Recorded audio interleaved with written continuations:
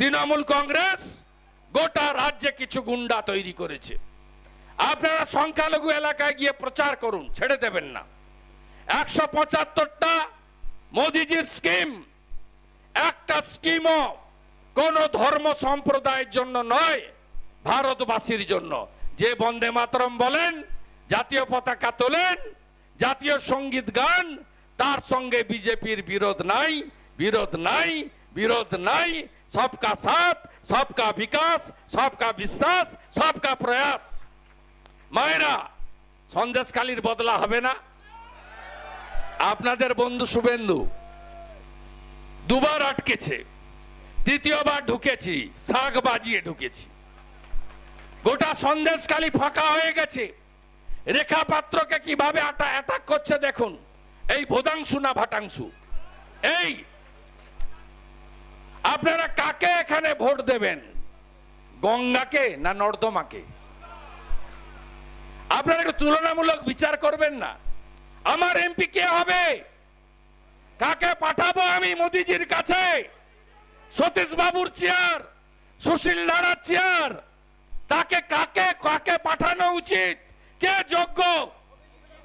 আর CPM বলিহারি, এমনি সময় মুসলমান প্রার্থী দাঁড় করে, ইব্রাহিম আলী। আর এবারে ঠিক আমার ভোটে করেছিল একুশে। বরাবর আমার নন্দীগ্রামে বামফ্রন্ট থেকে সংখ্যালঘু দাঁড়ায়। ষোলোতে আমার বিরুদ্ধে কবির মোহাম্মদ ছিল। কিন্তু মমতা ব্যানার্জিকে জেতানোর জন্য মীনাক্ষীকে পাঠিয়ে দিল। ছ হাজার দুশো, জামানত জব্দ। বাই বাই, ঘর চলে গেছে। এখানে সায়নকে দাঁড় করিয়েছে। সিপিএম এর নেতারা লাল ঝান্ডা কারে ফুকার করছে? যাতে আপনাদের ভোটটা, রাষ্ট্রবাদীদের ভোটটা একটু কেটে তোলামূলকে সুবিধা করা যায়। সাবধান থাকতে হবে। এ ভোটটা শুধু অভিজিৎ গাঙ্গুলিকে জেতানোর ভোট নয়, শুভেন্দু অধিকারীকে সমর্থন করার ভোট নয়। এ ভোটটা দেশের ভোট কে কে চান, ইউক্রেন হোক। চান নাকি? চান নাকি?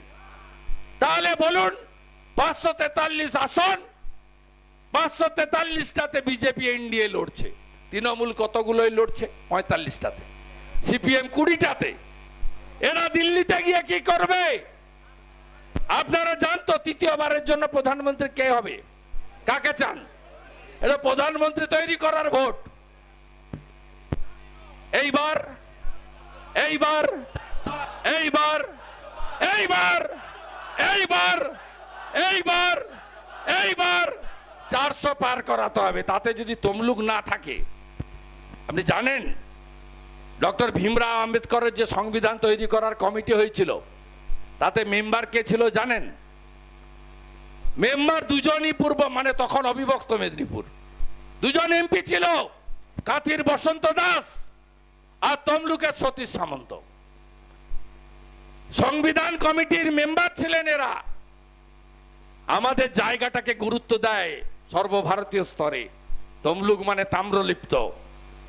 তমলুক মানে পড়াশোনায় ফার্স্ট তমলুক মানে হ্যামিল্টন ক্ষুদিরামের স্কুল। তমলুক মানে মা বর্গ ভীমা। তমলুক মানে হলদিয়া বন্দর।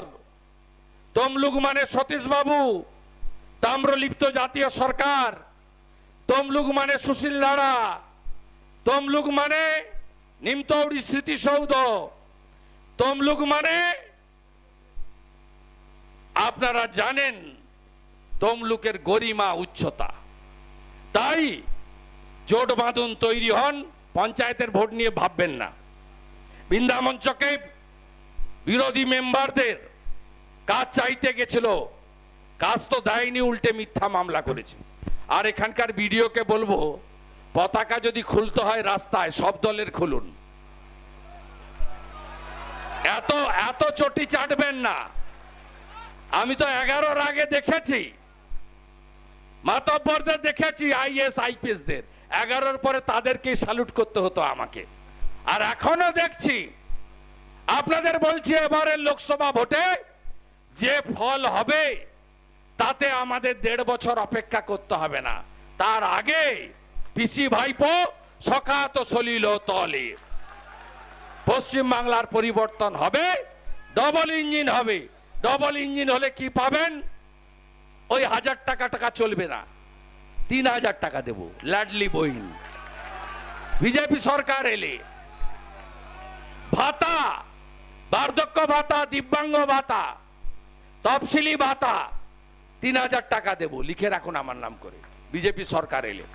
কেন্দ্রীয় হারে মহার্ঘ ভাতা দেব ইনক্লুডিং পেনশনার্স লিখে রাখুন, প্রতি বছর এসএসসি হবে।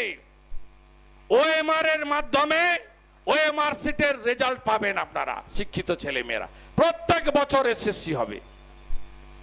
একটাও পিটিটিআই বিএড পাস করা ছেলে মেয়ে ত্রিপুরায় যেমন বিজেপি সরকার, একটা পিটিটিআই বিএড কে বাইরে রাখেনি, সবকে চাকরি দিয়ে দিয়েছে।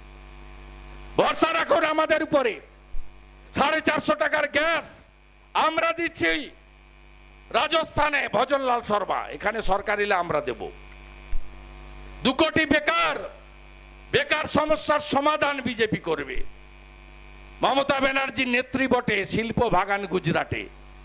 সিঙ্গুরের তৈরি করা কারখানা ডিনামাইট দিয়ে তুড়ে ফেলে দিয়েছে। আপনাদের এখানে ফুল চাষিরা এখানে নিদারুণ কষ্টে থাকেন। পচনশীল জিনিস। উদ্যান পালনে ইন্স্যুরেন্স নেই হর্টিকালচার কারণ প্রধানমন্ত্রী বীমা যোজনা পশ্চিমবঙ্গে চালু করতে দেয়নি মমতা ব্যানার্জি। আয়ুষ্মান ভারত, পাঁচ লক্ষ টাকা পর্যন্ত চিকিৎসা। গোটা দেশ পায়। বারো কোটি পরিবার, ষাট কোটি লোকের হাতে কার্ড। পাঁচ কোটি লোক পেয়েছে, আর এখানে ভুয়া স্বাস্থ্য সাথীর কার্ড। আপনি যেখানে নিয়ে যাবেন কার্ড, বলবে কার্ড না ক্যাশ। যদি বলেন কার্ড, বলে বেড নাই। যদি বলেন ক্যাশ, চলুন এক্ষুনি ডাক্তার রেডি। তাই তো? আর এই ভুয়া কার্ডটা মমতা ব্যানার্জির ধপের কার্ড, চিটিংবাজি কার্ড। এটা চলে, ভেলোর সিএমসিতে নিয়ে গেলে ফেরত দিয়ে দেয় না। মুম্বাই টাটা ক্যান্সার হসপিটাল নেয় দেবী শেঠির বাঙ্গালোর হসপিটাল নেয় ডাক্তার রেড্ডির হায়দ্রাবাদ হসপিটাল নেয় তাহলে এগুলো যদি করতে হয়, বিজেপিকে আনতে হবে, নরেন্দ্র মোদীকে জেতাতে হবে। মারা সন্দেশখালির বদলা হবে তো? মাঝরাতে পিঠা খাওয়া যদি বন্ধ করতে হয়, তৃণমূলকে হারাতে হবে। রেডি তো আপনারা? জোট বাঁধন তৈরি হন। দেশের ভোট, দেশের নেতার হাতে তুলে দিতে হবে। আর আপনাদের বাড়ির বন্ধু, ভাই, সন্তান সন্তান যে যেভাবে দেখেন, যার বয়স অনুযায়ী। আমাকে গোটা রাজ্য জুড়ে লড়তে দেবেন তো? লড়তে দিলে বুথের দায়িত্বটা নিতে হবে। তিন হাজার চেয়ার পেতেছিলেন, পাঁচ হাজার কর্মী এসেছে একটা বিধানসভায়। পঁয়ত্রিশ সাতটা বিধানসভা আছে।